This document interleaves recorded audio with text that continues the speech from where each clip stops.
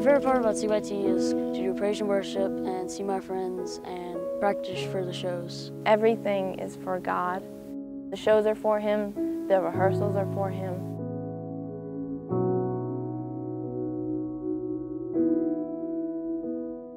The CYT family is very loving, they're very open, they're very receiving, and they're willing to give every ounce of themselves to make sure that everyone feels welcome and loved.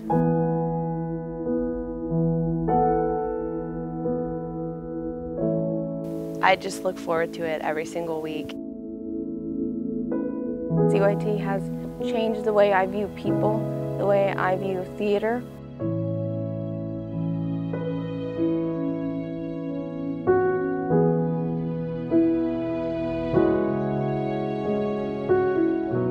Excited to be able to tell other people about it and encourage people to sign their kids up.